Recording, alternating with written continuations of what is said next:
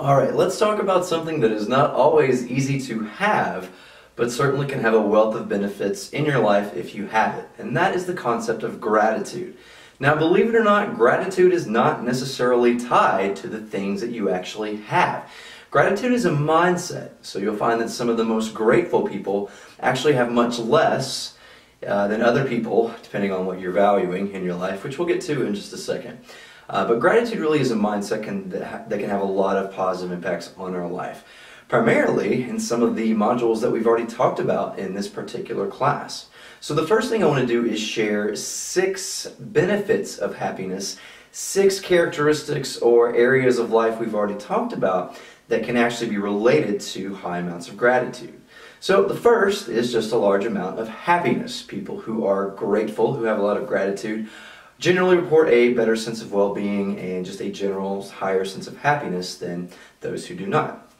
The second is the idea of hopefulness. So you're not just grateful for what you currently have, you're optimistic about the future as well.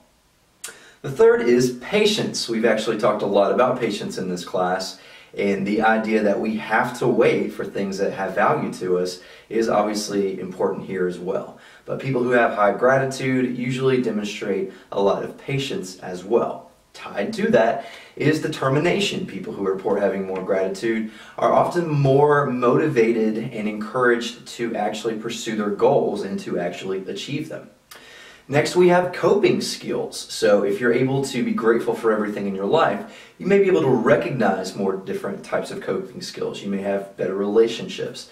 Uh, you just have a wide variety of ways to cope with tragedy that will inevitably come our way. And then finally, pro social behavior. If you are happy and hopeful and patient and determined and have a lot of coping skills, typically those type of people want to give back. And so people who are grateful are also more likely to do positive things for the people in their lives. So those are just six benefits but believe it or not, when I was doing research for this particular module, I ran across so much research that I had to whittle it down into a number that I could manage. But there are so many other positive aspects of life that are correlated with, or at least related to, having high amounts of gratitude. So, how do you become grateful? Well, I've come up with five steps that uh, can hopefully take us there.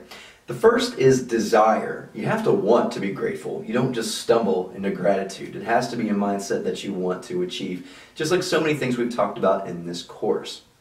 The second is that you have to be able to recognize the good things in your life. That sounds easy, but not everyone's able to do that. Especially if you've had a particularly difficult childhood, um, you may not have had some of the things that other people have. It can be difficult for you to recognize the good things in your life. Conversely, if you've had a lot of positive things in your life, you may take for granted things that other people don't have. So, recognizing the good parts of your life isn't as easy as it may seem at first glance.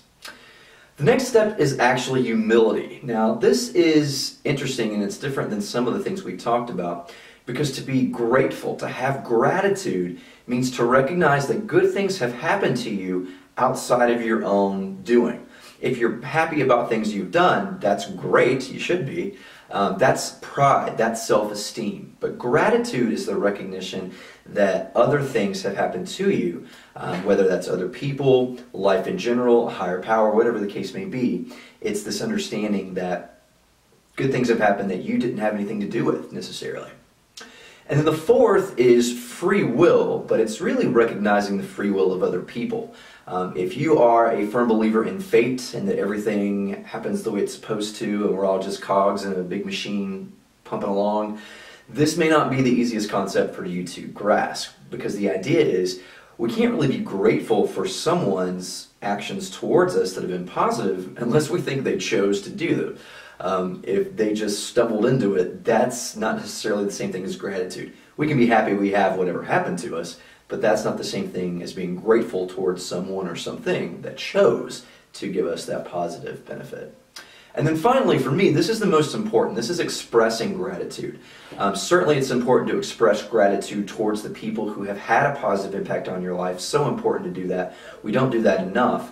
But it's also important to just express that recognition for yourself. Um, a gratitude journal is something I used to keep in college when I was really battling my depression. Super helped me. Uh, I'm actually considering starting that up again uh, because research has shown that people who keep a daily record of just small things they're grateful for have all those benefits that we just talked about. So this is only one path towards gratitude, but the five steps I want you to know are desire, recognition, humility, free will, and expression. And then finally, there are three characteristics that I feel pretty strongly um, have an impact on our gratitude. So gratitude is not something that you either have it or you don't.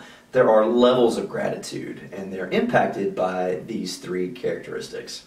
The first is cost. So if someone really was selfless and it took a lot for them to do whatever it is they did for you, whether that's financially, whether that's effort, whether that's time, we tend to appreciate that more.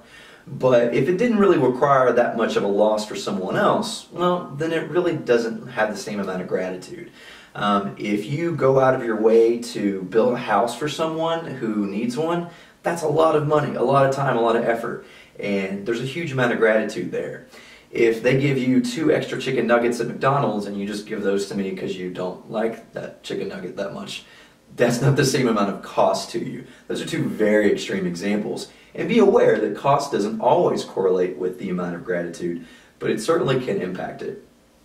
Related to that a little bit is the second characteristic, and that is value. So again, people can do nice things for you or give you things they think you would like, but unless you value them, it's not important. Um, sometimes people will mean well and they'll do things for us they think we want, but they're coming from their perspective and not ours. So even if someone spent a lot of time and effort into something, if that doesn't matter to you, it doesn't really lead to the same amount of gratitude.